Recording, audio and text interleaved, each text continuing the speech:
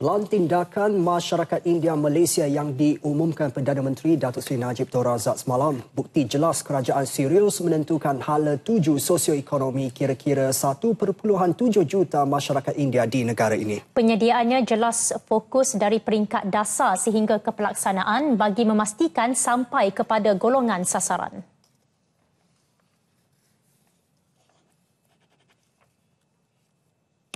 Perdana Menteri kita wujudkan uh, a few programs for Indian untuk untuk orang-orang India di sini dan uh, saya rasa ia bagus. Haraplah uh, uh, pentadbiran lain akan uruskan dengan begitu baik. Uh, itu satu-satu permintaan kami. Yes, it's like a helping hand for us. So to upgrade and to widen the business also. If I get this plan, I'll have more machines here and all the necessary machines to for the textiles. Like we need a buttonhole different machine. If this blueprint is going to happen or going to work, then they have to think and see, you know, when they're going to implement it.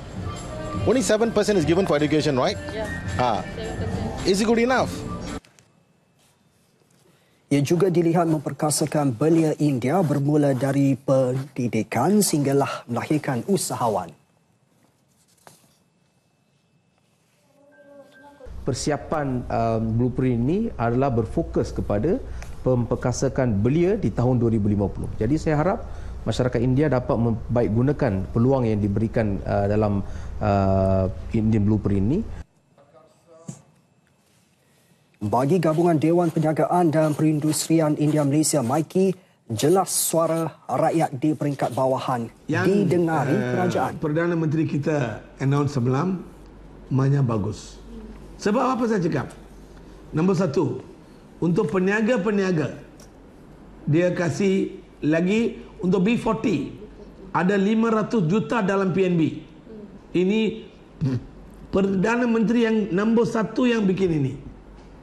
So ini macam orang miskin pun tak ada masalah. Kalau dia nak beli saham, apa itu unit trust ke apa, dia boleh pergi PNB. 500 juta. Ini revolving fund.